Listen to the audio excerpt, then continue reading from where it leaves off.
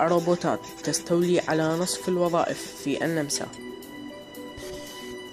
نصف الوظائف في النمسا ستصبح في عهدة الروبوتات في السنوات العشرين المقبلة. وفقا لتقارير صادرة عن شركة دراسات رائدة في بروكسل. وجدت شركة بروغل للدراسات في بروكسل أن 54% تقريبا 54.1% من فرص العمل في النمسا في الوقت الراهن. سيكون مصيرها الحوسبة مما يعني أن أصحابها سيتركون عاطلين عن العمل في العقدين المقبلين. الحوسبة في أماكن العمل بدأت تنافس البشر على وظائفهم وتستبدلهم بآلات أوتوماتيكية. الأمر الذي يهدد مصدر رزق 54.1% من العمال في النمسا. وأظهرت النتائج أن الدول الأوروبية الأكثر عرضة للخطر من هذه الحوسبة هي رومانيا. 62% تليها كل من إيطاليا وبولندا وبلغاريا واليونان.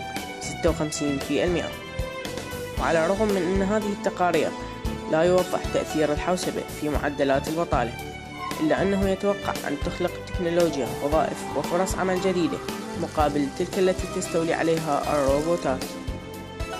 من المرجح أن تعيد التكنولوجيا تشكيل أسواق العمل بشكل كبير على المدى الطويل.